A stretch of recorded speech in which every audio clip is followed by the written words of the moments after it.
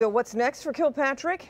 He will be released, but his convictions still stand. Exactly. A local 4 defender Karen Drew looking into this difference between a commutation and a pardon. Karen?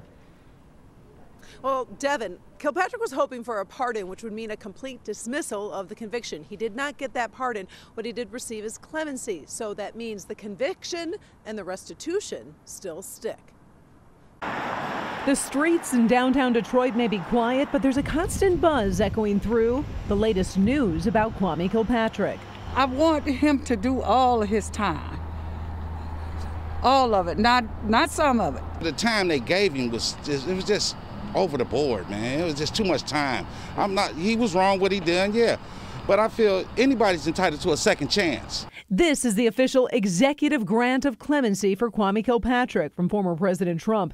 Take a close look. You can see it was signed January 13th. That's a week ago.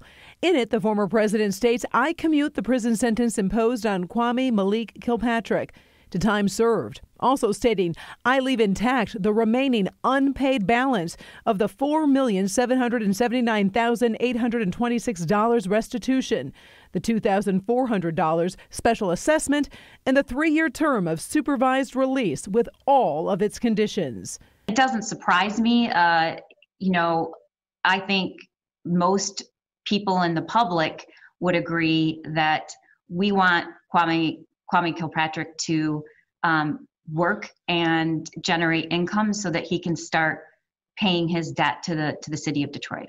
Once Kilpatrick is released and does start to earn an income, his wages would be garnished to pay back the millions he owes. And there are several ways to do that. Of course, this is a, a criminal, a result of a, a criminal conviction. So this goes to the top of the list in terms of his debts but he also has uh, civil money judgments. So here is the hook. Obviously, you have to have an approved uh, restitution plan of payment. If Kwame Kilpatrick doesn't stick to that payment plan, he could find himself in prison again.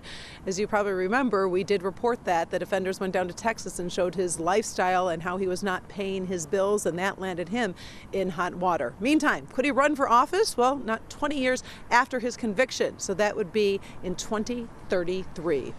We're live in downtown Detroit. I'm Karen Drew, Local 4 Defenders. Uh, Karen, are we hearing anything from, from the Kilpatrick family yet?